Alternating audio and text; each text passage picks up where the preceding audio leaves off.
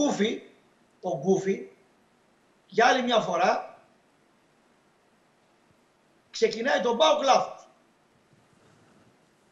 Δηλαδή, παίζεις με τον Πας Γιάννα. Ο Πας Γιάννα έχει γελά οχτάρι. Δεν παίζει με εξτρέμ. Βάζεις τον Εσίτη. Έχει εκτός αποστολή τον Ινούα, έξω τον Τσιγάρα, εντάξει, και ο Μιχαηλίδης που μπορεί να παίξει το εξάρι σε τέτοια μάτς μπροστά από τα στόπερ φοβερά, τον έχεις στο πεταματό κι αυτό. Και βάζει τον Εσίτη. Δηλαδή είσαι γκούφι. Είσαι γκούφι γιατί βάζεις στην αρχή το Βιερίνια σε κλειστό χώρο με από τους καλύτερους διοξιούς μπακ του πρωταθλήματος στο Σάλιακα για μένα, πολύ καλός. Και στο 15ο λεπτό τον πιάνει η κάμερα του Βιερίνια. Τις πρώτες τέσσερις μέρες όταν είχα κορονοϊό, οι ανάσες μου ήταν καλύτερες από το Βιερίνια. Στο 15ο λεπτό.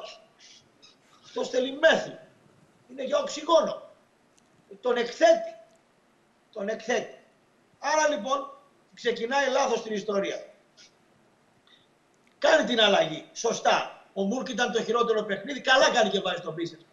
Καλά κάνει και βάζει τον Τσόλι. Εντάξει. Και ε, καλά κάνει και βάζει τον Καντουρί, ο οποίος Καντουρί με το μυαλό ότι δεν μπορεί να παίξει 90 λεπτά, σου λέει να τον βάλω στο δεύτερο ημίχρονο. Όχι όμως τον Εσίτη. Είναι σίγουρο θα φάει κάρτα και αν τον αφήσεις 90 λεπτά και με το Σιδηρόπουλο διοικητή θα πάει δεύτερο. Τι δεν κάνει ο Μπαζιάννη αυτό. Γιάννη μου ο Μπίσεσβαρ, ό,τι φακλάνα κι αν είναι, ό,τι και παλέμαχος και να είναι, αν τον αφήσεις ελεύθερο, χωρίς προσωπικό μαρκάρισμα, μπορείς στο, στο 45 λεπτά, εγώ σου λέω τρεις πάσες να κάνει στην τρύπα, να βγάλει τρεις φορές τέτα το Ζήφκοβιτ. Μπορεί να κάνει δύο γκολ. Περπατιστός.